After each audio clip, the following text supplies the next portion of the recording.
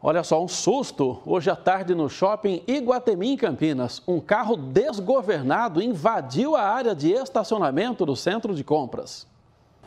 O acidente aconteceu pouco depois das duas da tarde. A motorista deste veículo seguia pela Avenida Iguatemi quando perdeu o controle da direção. O carro varou a cerca de alambrado, arrancou uma árvore e caiu no estacionamento do shopping. Não havia ninguém no local da queda e nenhum outro veículo foi atingido.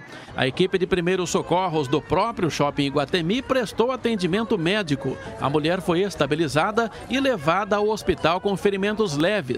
As causas do acidente vão ser investigadas.